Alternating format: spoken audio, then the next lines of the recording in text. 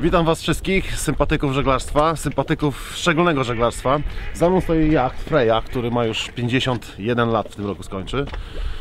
I prośba jest taka, żeby wspomóc marzenia i pasję e, pana kapitana i pani kapitanowej z kuźni wikingów, żeby ten jacht można było odrestaurować, żeby mógł być e, tak samo zdolny do pokonywania mórz i oceanów, tak jak wiele, wiele lat temu w lodach, ciężkich warunkach.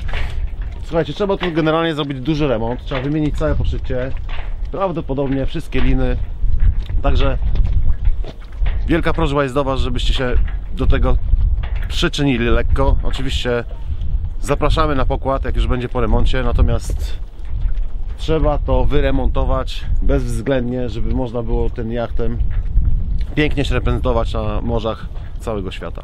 Serdecznie Was do tego zachęcam i do zobaczenia na wodzie.